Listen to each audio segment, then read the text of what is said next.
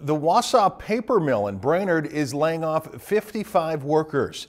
The layoffs are the result of the mill ending its production of printing and writing paper.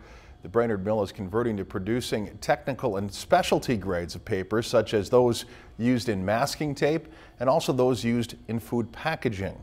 What we plan to do with the Wausau population is to offer them some information sessions about the dislocated worker program services in a group setting so that um, we have the opportunity to give them that information um, before they're unemployed so that they have some things that they can be thinking about and planning for once they're um, done working at the end of the year.